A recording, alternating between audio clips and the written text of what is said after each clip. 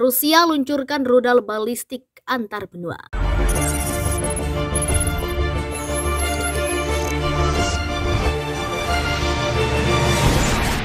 Perang Rusia-Ukraina tengah diawasi seluruh dunia saat ini. Kekhawatiran media dan berbagai lembaga penelitian intelijen semua negara adalah kemungkinan terjadi perang dunia ketiga dari konflik Ukraina. Peneliti senior di Center for Security Policy dan editor Asia Times, Stephen Bryan, memaparkan konflik ini jika ditangani dengan salah oleh Presiden Amerika Serikat Joe Biden dan NATO, maka akan terjadi perang nuklir. Melansir artikelnya di Asia Times Jumat 25 Februari 2022, melampaui seluruh retorika dan sanksi-sanksi, Washington menurutnya harus memiliki pemikiran yang jelas. Memang tidak harus terburu-buru, tapi perlu untuk keamanan masa depan dunia. Menurut Brian, AS harus tetap membuat Rusia tenang dan menghindari perang yang akan menyebar secara cepat jika tidak ditahan. Kemungkinan terburuk adalah jika Rusia akan menggunakan senjata-senjata nuklir. Rusia dipenuhi dengan senjata-senjata strategis dan senjata nuklir taktis, dan operasi militer terus-terusan meningkatkan penggunaan baik secara bertahap maupun dalam satu waktu. Brian mengatakan AS dan mitra NATO setelah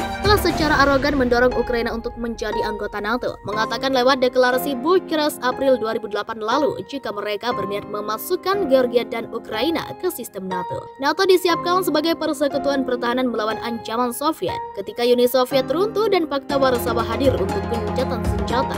NATO yang seharusnya tidak dilanjutkan akan muncul lagi sebagai penjamin negara-negara yang baru merdeka di timur Eropa Eropa, dari Baltik sampai ke Romania dan selebihnya. Secara logisnya, masukan Georgia dan Ukraina akan masuk akal, kecuali ada perang di Georgia, dan Rusia datang mengakhiri kemerdekaan Georgia. Rusia menduduki Georgia untuk mengambil dua provinsi dari Georgia, yaitu Ossetia Selatan dan Abkhazia. Perang itu dipicu oleh dorongan NATO ke selatan dan barat, dan Rusia memutuskan perlunya buffer atau penyeimbang melawan NATOisasi. Namun, perang di Georgia bisa jadi lebih buruk seperti dipaparkan. Alih-alih memikirkan ulang antusiasme NATO untuk ekspansi, NATO melanjutkan kini dengan Ukraina berlatih dan membangun pasukan Ukraina dengan dorongan Washington. Washington dan Eropa telah memainkan peran penting mendorong Ukraina ke barat dan membangun narasi melawan Rusia.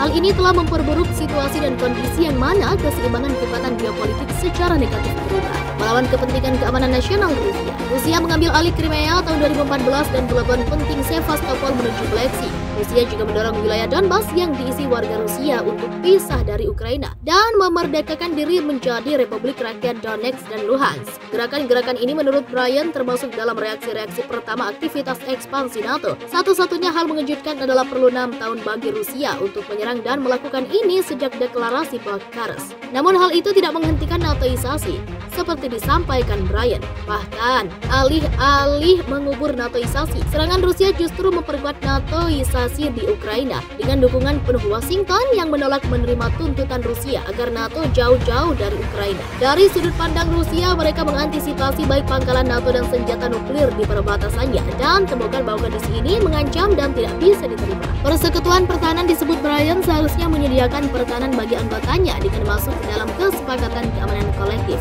NATO melakukannya dengan artikel 5 dari perjanjian NATO. Namun dengan ekspansi NATO, NATO melebar dengan sangat seperti disebut oleh Brian. Tidak diragukan hal ini dipahami oleh warga Rusia yang berpikir bahwa NATO, artinya Amerika, berencana mengkompensasi pasukan darat konvensional dan kekuatan udara taktis dengan menempatkan senjata nuklir di perbatasan Rusia. Rusia mengatakan keputusan AS untuk secara sepihak membatalkan kesepakatan INF dan memasang peluncur MK41 di Polandia dan Romania memberikan ancaman langsung ke keamanan Rusia. Kesepakatan INF adalah kesepakatan antara AS dan Uni Soviet mengenai eliminasi kombinasi rudal jarak menengah dan jarak pendek. Rusia berargumen bahwa AS dapat meluncurkan rudal jelajah nuklir Tomahawk dari peluncur MK41.